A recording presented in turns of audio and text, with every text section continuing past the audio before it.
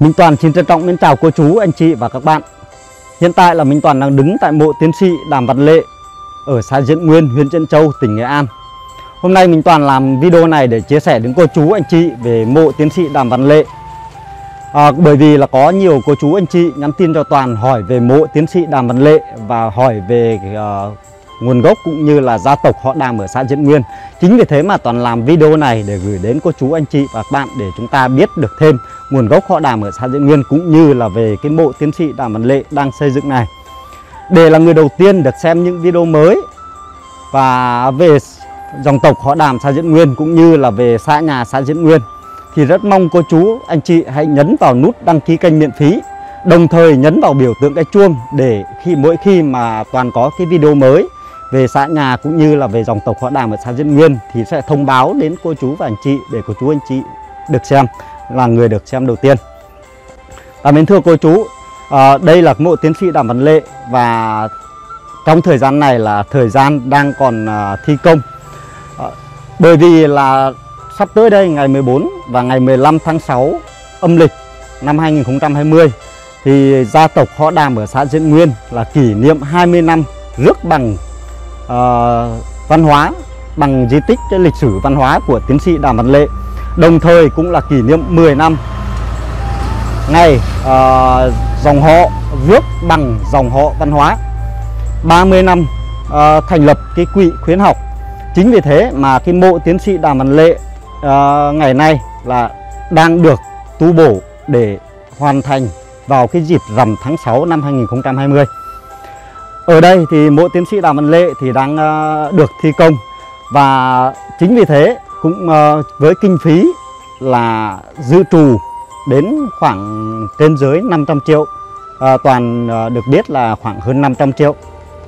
Chính vì thế mà rất mong à, cô chú anh chị những người con xa quê nếu có thể thì xin à, đóng góp cái lòng hảo tâm của mình để về uh, coi như là ủng hộ uh, dòng gia tộc họ Đàm và ủng hộ quê hương. Ở đây thì uh, nếu cô chú anh chị mà ủng hộ thì uh, xin liên hệ với bác Trung là uh, bác uh, đang là chịu trách nhiệm uh, cũng như là thay mặt trường họ để nhận những cái uh, tấm lòng uh, ở nơi xa mà anh chị gửi về hoặc là cô chú anh chị cũng có thể để lại cái thông tin ở dưới cái video này thì Minh Toàn uh, xin là người uh, dẫn để cô chú à, dẫn người thư nốt Bắc Bắc Cầu để cô chú sẽ gặp Bác Trung để chúng ta à, ủng hộ. Và bây giờ thì à, xin mời cô chú và anh chị chúng ta hãy tham quan một vòng cũng như là cái địa điểm để biết được cái mộ tiến sĩ Đàm Văn Lệ này ở đâu, về cuộc đời cũng như là cái cuộc sống của tiến sĩ Đàm Văn Lệ nhé.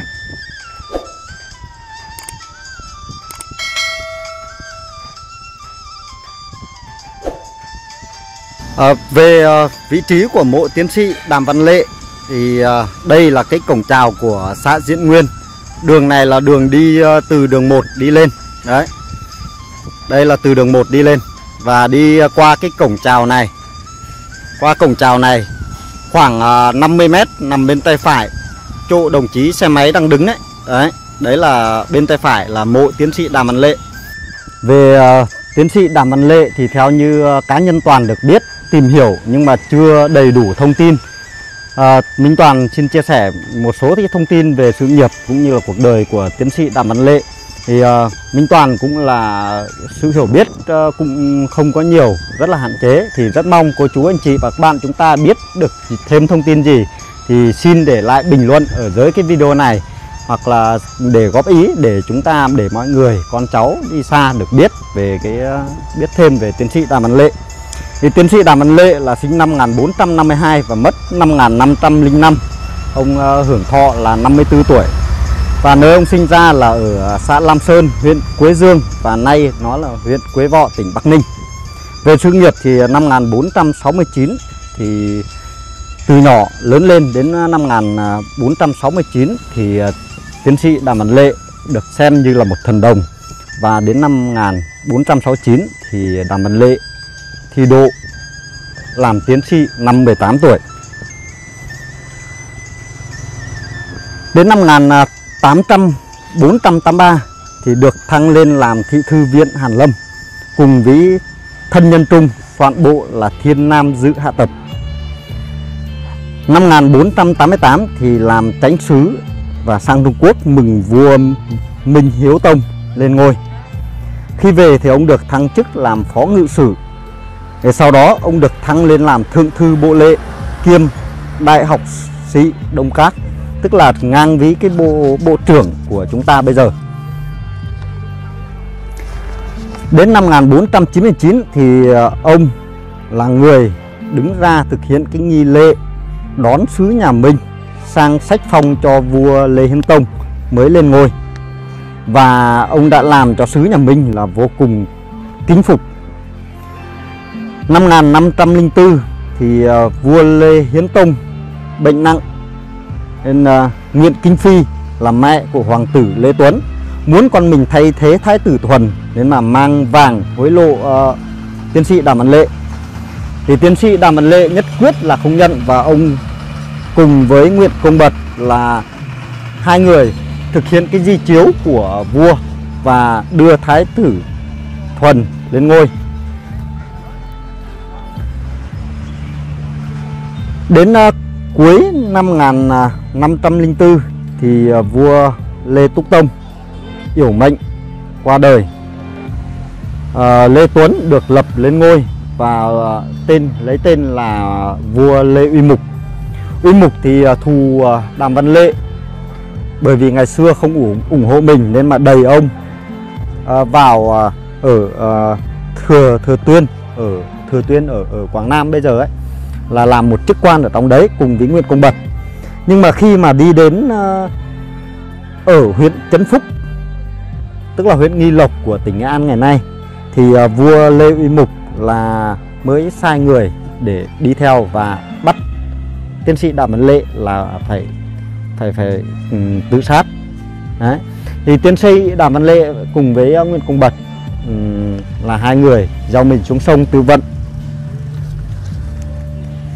ngày sau này là Lê, à, Lê Tương Dực khởi binh và lật đổ uh, vua Lê Uy Mục đã truy phong và tế ông để nêu gương tiết nghiệm và được biết là tiến sĩ uh, Đàm Văn Lệ là tổ phụ của tiến sĩ Đàm Văn Triết.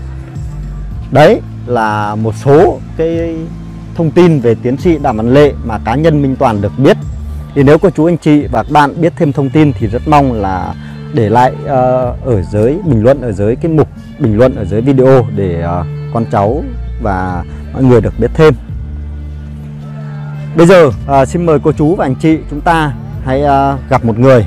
Uh, Đây là bác uh, Đàm Văn Thuyên Người uh, là xóm trưởng cũng như là uh, ở trong cái uh, ban uh, trưởng ban tổ chức của cái những cái nghi lễ của gia tộc họ Đàm ở xã Diễn Nguyên. À, mình lấy ở ngoài Ninh Bình á. Ninh Bình từ cũng được, đục về đấy nó luôn đục chóng về lắp cây ấn luôn. Nhưng mà liệu thì có có xong được uh... ba hai mươi tháng tư là gắn năm trăm. À. hai mươi tháng tư là năm trăm.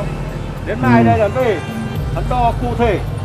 Chiều ni đây đó là bao nhiêu bao nhiêu để ra đục đúng khuôn kích cỡ luôn. Ừ. Ờ, các chiều dài chiều rộng ba đo thực tế luôn là về làm đúng như xì luôn vô còn lắp ráp nữa được mà ô tô hơn bảy mấy chuyến ô tô. Chở vào đây là lắp ráp rồi. Thế thì xong uh, xong được uh, sớm á thầy, xong sớm. Ừ, xong sớm phải xong sớm mà. Cái xe đất đi là vừa đưa vào đây. Dạ. cái thì sau ta đổ cao lên nữa. Còn trong nữa là đổ hai ô tô đất đất đồi Ô nhưng mà ở ở ở ở phía phía trong tê ờ, trong kia là là là ờ, mộ mộ là nằm sao lại xây cái trụ bên trong ấy bác nhỉ? mô tổ ra đây nữa là dự nằm trong khuôn vì không biết chỗ mộ À, không biết nằm vị trí mộ cả dạ. còn nếu như biết vị trí đó là ta xây mộ đó ta ghép một mộ đá đây luôn à, Ừ. nên mà dừ đó là đưa nó là làm cái cái cái nhà đá đó để thờ đó. Còn nữa là dừ mình mở một cái đường dưới vòng thì không xéo vào trong đi. À, ờ dừ đây là mai mốt là mở đường vòng đó. Đổ lên xong rồi đó mình lắng ghép gạch đỏ đi luôn. Đó đi một vòng luôn. Vô đó À. thắp hương xong giá đồng đi. À, ý đồ là làm nữa là coi như mình tôn trọng không bao giờ gì xéo ở đây. Còn cái này mai mốt bứt là đổ đá lên bằng cái đi luôn. Đất đất đất uh, đồi á. Nhưng mà trong trong ba ba cái mộ ở đây là là là là được họ ra họ sợ họ cái thằng bún ngô đưa mộ nhà hắn đưa nó cất lên khác này rồi Ừ. mình đắp ba mộ nữa. Là có còn đúng đây có một mộ ông nữa ừ. chứ không có nhiều đâu. Tức là mình mình mình đắp thôi chứ còn bên dưới là Mình không đắp có. rồi, bên ừ. dưới là có một mộ nữa nó nằm trong khuôn viên đây. Ừ. chính xác cái trong khuôn viên này mà không biết vị trí mộ. Ừ. còn lại là nữa còn biết rồi dù mình xây cái mộ đá thì lại tuyệt vời luôn. Ghép mộ đá thì là có có khi là mộ nằm góc này có góc tên nói chung là nằm trong khuôn viên. mình cứ đi nói chung Dạ. mình thấy khuôn viên đi là cũng rộng rồi dạ mình đi vòng vòng đi là không bao giờ động đến vô ừ. ừ. coi như mình để mình nghĩ chuyện là mình không chéo mộ thì đi được á Đây. thì cái này là làm bằng đá cả đá hết luôn vòng vòng là cột bằng đá ừ. cái tấm đi cũng đập ra hắn làm cho một tấm đá luôn để đặt cái đi lên dạ. Thế nên là bằng đá cùng khoảng chi phí thì nếu mà là mình làm đá nữa thì thế là hết ba trăm tư một đá riêng đá không là hết ba trăm đá không ba trăm tư đi coi cũng nhiều nơi rồi. Hắn làm nữa. Bữa mà đầu tiên là có thằng đầu tiên về đó. Là không có cái bờ bảo rước bằng đá nào rồi không có một lưu hương nữa vì ta đang còn làm một lưu hương đi về nhà thờ nữa bạn. Ừ. đặt xuống trước nhà thờ để đáp hương các bạn.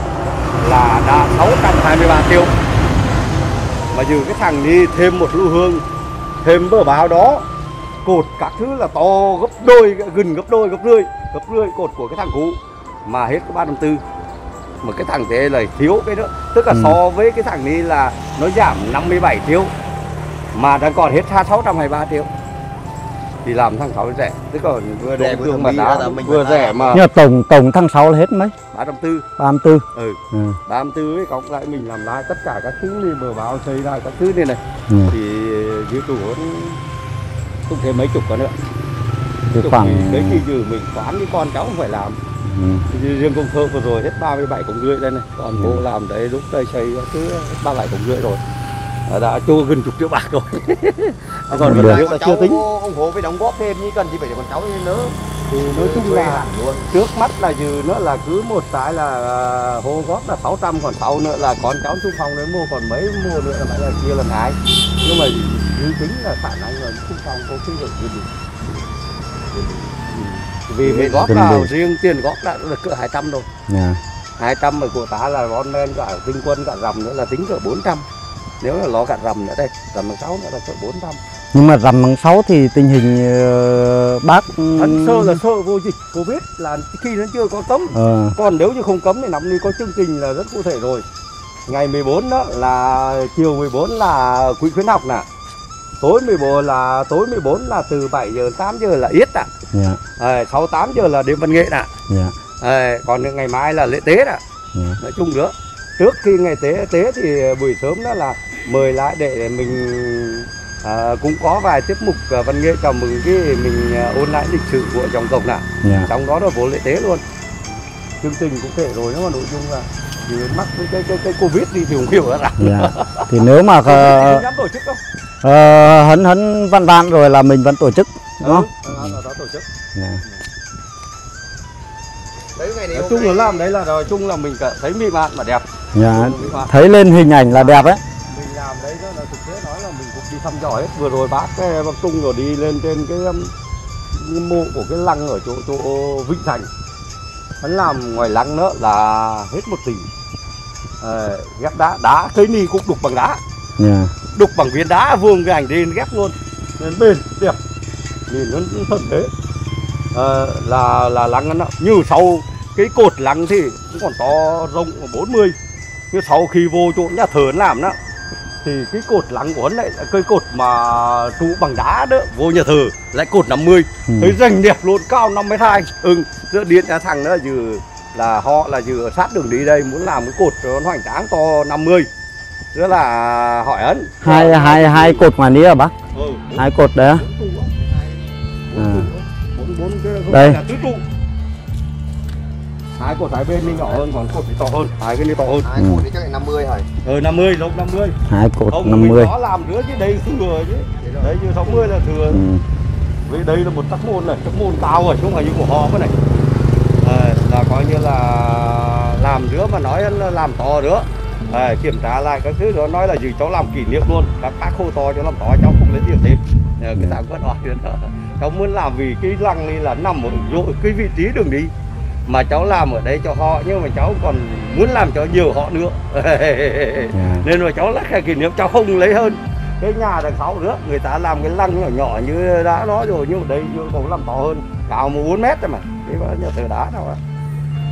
Nghe được. Chung mình cũng thăm dò hết luôn làm cũng tương đối rồi đó.